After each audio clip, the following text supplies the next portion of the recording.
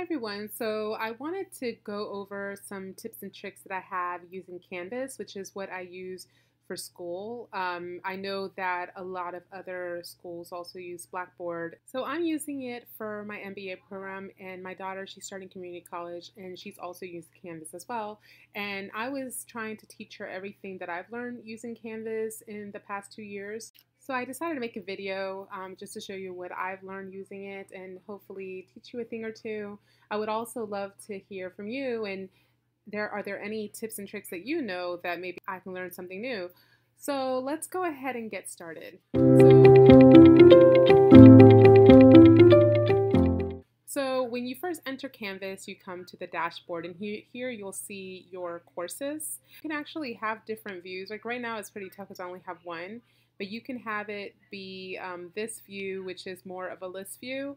You can have just the recent activities, or I prefer the card view because if I have more than one class, I can just quickly get to it. Other side, which is like a little sidebar, is like a to-do list, and these are usually any announcements that your professor has, or even the school. Like now with COVID, they now have section for that. Um, I guess it's a course for in when you're talking about it in Canvas and here you'll see the to-do list for that and this helps because then I know like what's coming up and what needs to get done um, before we meet up the next time.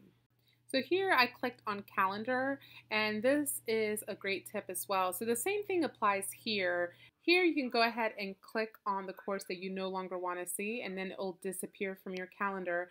The reason that you want to do that is if you are someone who prefers this calendar view, then you'll just see the active courses that you want to pay attention to. But then um, the other thing that is really, really great is if you do use another calendar. And so the great thing about this is that if you click on calendar feed, you can sit here and go to your Google Calendar, Outlook Calendar, iCloud, whatever you use. Uh, I'm just going to use Google Calendar because, as I said, that's the one that I use. I already have it um, posted, so I'm not going to um, save what the subscription to the Canvas calendar. But I'm just going to show you how to do it in case you've never done it before. So you'll have two. You'll have My Calendar and Other Calendar and then you can click on the plus sign. I don't know why my computer is so slow today. It's like it doesn't want to work because they know that I'm trying to show you all something. So you click on from URL and then you just post the calendar and then add it. And then when you do that, you'll see that um, here I have my MBA Cal, like don't confuse it with the one I created for myself. This is the MBA Cal. And then you'll see that um, this is the how it looks from the canvas and then you have all the information that the professor posted so that's really nice because then you don't have to try to keep two calendars trying to get them sync and manually sync them you can just use the calendar feed so that has been a lifesaver for me and I recommend that you do that so the other thing that I recommend is download the Canvas app. So as you see, I, I have it here. It looks, it's basically a mini version of the web application. Um, so one of the things that Canvas has, it has its own inbox. Uh, usually all my professors use the inbox. They don't use email. I think I've only gotten like one email from professor and it's before the class started. So you definitely want to have the Canvas app because then you'll get notified every time the professor sends a message out. The other thing that's really, really nice is that um, if you go, if you use the widget area on your phone, and I apologize if Google, um, I'm assuming that they probably, I'm assuming that they have their own widgets on their phone, um, like a little dashboard for you to see. Um, but I have an iPhone, so that's why I'm showing the iPhone. But you can have a Canvas widget, and he'll and here you'll see all your graded assignments as well as the grade for the course. And one thing I like is that you these are the courses that I starred that will show up here. So here right now it's an NA because I just started this class, but if not, there would be a grade here for every assignment that I turned in. So that is something good because then you can quickly know what your grades are without having to log in to a computer and go to the grades link to get that grade. So yeah, you definitely want to download the app. The other thing you want to do is click on your face, or if you don't have a face, it'll probably just be your initials, I believe.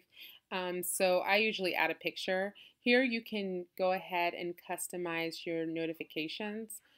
Um, but here you can go ahead and decide the notifications and how you want to receive them. The other thing that you can do here as well is see all the files. These are everything from the files that you use in discussions. Like the current professor that I have, he loves having discussions, um, which are the forum area of Canvas. And so here you can see all the your conversation attachments, all your submissions, and you can do it also by each the courses, and you can also see the ones that the professor also um, uploaded. So this is really nice um, to have as well. I don't use ePortfolio, so that is something that if anybody has any tips on that, I would love to hear it. The other thing that is really nice is that if you click on settings, you can actually add your Google Drive. I don't even know why I use Twitter. That's, I mean, why would I have Twitter? That's weird. That's something I'm going to have to relook at. But you can have like Google Drive um, here as well. So you can upload or download anything from Google Drive if you use Google Drive. Um, here you'll see all your integrations. So as you see, my canvas, which I need to delete a couple because, you know, the latest one is the one I should have. And then you can also have other options according to the actual app. So those are some of the tips and tricks that have helped me to use Canvas and just help me be on top of my classes, know what my grades are, and just be in communication with my professor. I'm assuming that also one of the things about uh, these type of tools is that it also depends what the IT department at your school has things set. So there might be additional settings that I can't see because this is what uh, James Madison University decided makes sense, which I think for me, it's perfect. It's everything that I need. I don't need anything else. Um, the other thing that I did want to show you, and this is probably, you probably already know this if you're using Canvas, is if you do click on your class, the professor can actually organize this and have things um, hidden or not depending on what they want you to have access to.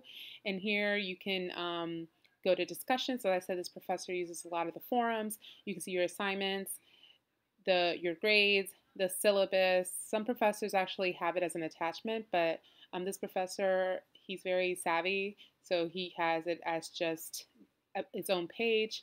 We're going to have quizzes in this class, so he, you have quizzes. And one thing that James Madison now has is Zoom. So I just created my account. So, oh, you know what? I think they're actually switching from WebEx to Zoom because before, now that I think about it, it used to say WebEx and now it says Zoom. So I guess they did uh, a switch over from WebEx to Zoom. I hope that this was really helpful and sorry that I rambled on.